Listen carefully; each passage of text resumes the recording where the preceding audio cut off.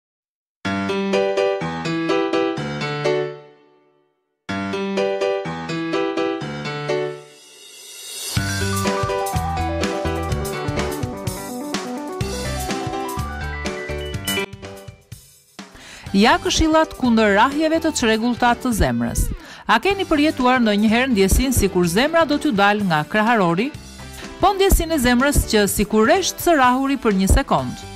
Ajo për të cilën po flasim ka të bëjë me rrahjet e shpejta dhe të çrregullta të zemrës, një fenomen që zgjat krejt pak, por që mund të ndodhë shpesh, jo vetëm kur jeni në lëvizje, por edhe kur jeni ulur, shtrirë apo duke qëndruar në heshtje. Lajmi i mirë është që jo të gjitha rastet e rrahjeve të shpeshta të zemrës janë një tregues i problemit shëndetësor që ka prekur këtë organ. Ndonjëherë rrahjet e shpeshta të zemrës shkaktohen nga situatat kur zemra sforcohet nga stresi, nga sëmundjet, dehidratimi apo aktiviteti fizik. Shkaqe të tjera të rrahjeve të shpeshta të zemrës përfshijnë shtatzania, përdorimi i tepruar i kafeinës, simptoma të tjera mjekësore, marrja e ilaçeve, duhani apo produktet e tij. Ja disa nga mënyrat më të mira se si mund t'i mbani nën kontroll Rrahjet e çrregullta dhe të shpejta të zemrës në kushtet e shtëpisë, ose kur ju duhet të vizitoni një mjek, dhe mbi të gjitha për pasjen e një zemre të shëndetshme.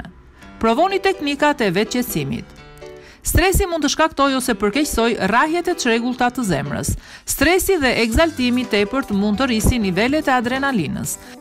Menaxhimi i stresit nëpërmjet vetëqetësimit ju vjen tepër në ndihmë. Provoni të qëndroni ulur me këmbë të kryqëzuara dhe merrni frymë ngadalë me hundë dhe nxirreni nëpërmjet gojës. Përsëriteni këtë ushtrim disa herë derisa ju të qetësoheni. Nervi vagus luan një sërë funksionesh përfshirë atë të ndërlidhjes së trurit me zemrën. Ushqimet që kanë të bëjnë me këtë nerv e stimulojnë atë dhe ndihmojnë për rregullimin e rrahjeve të zemrës.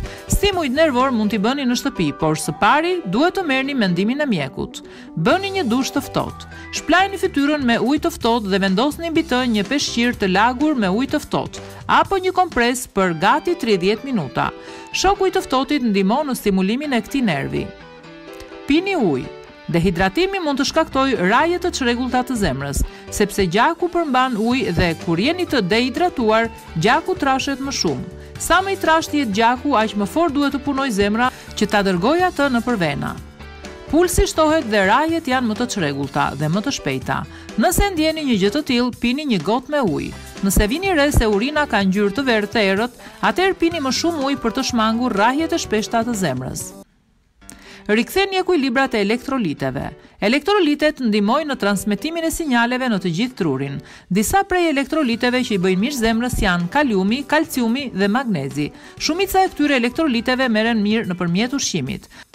Avokado, banania, patatja e ëmbël dhe spinaqi janë burime shumë të mira të kaliumit.